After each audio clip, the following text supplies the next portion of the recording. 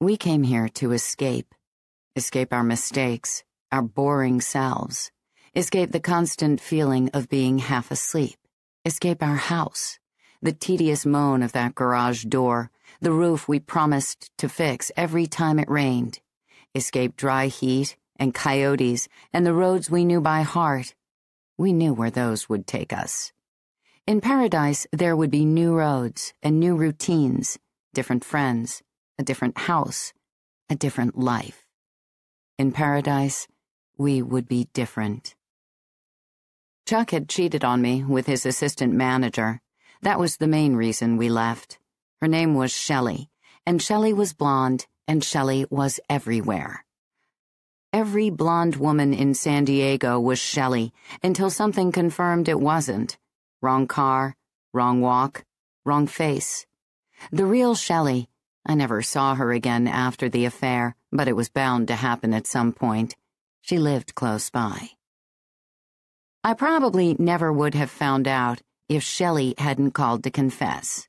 She just had to get this off her chest, she said. It was eating her alive. She swore it had only happened that one time. She'd quit the job right afterwards to make sure it would never happen again.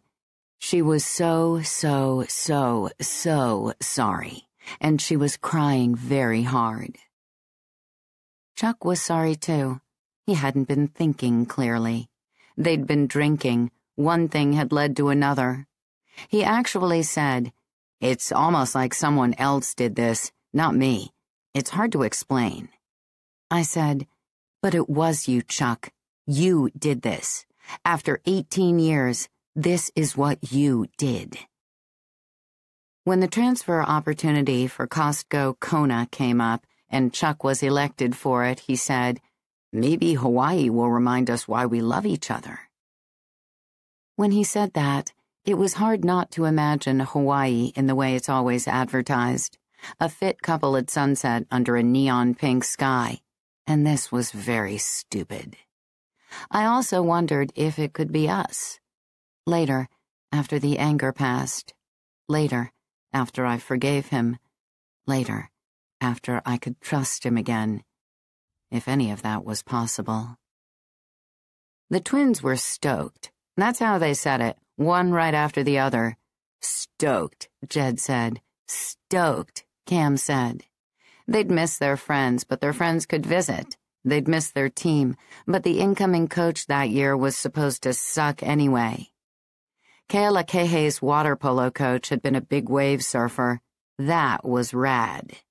And they could start surfing. And when their friends came to visit, they could take their friends surfing. It was all just going to be totally sweet. Plus, Mom, Cam said, you love mangoes. There were reasons other than Shelley to leave. I did love mangoes, and I'd only been to Hawaii once, when I was ten, which barely counted anymore. I'd lived in San Diego my entire almost 50 years of life, and my days had begun to feel like the same spin in the same hamster wheel. Same postman at the same time, delivering the same bills. Same grocery store, same place I always parked, same minivan under the same tree. I'd been trying to lose the same five pounds for the last 30 years, when had I become so redundant and joyless? Was it normal that everything I did had the same tone as flossing? I don't want to do this, but I should do this. I wasn't ready to call myself depressed. My mother had been depressed and killed herself, and I was nowhere close to that. But I strongly felt I could be happier. Still, a part of me wanted to say no wanted to hang on, wanted to clutch my little hamster claws to the familiar wheel and stay. But I knew I couldn't do that. If I said no, it would prove I had truly lost hope that life could be better than this.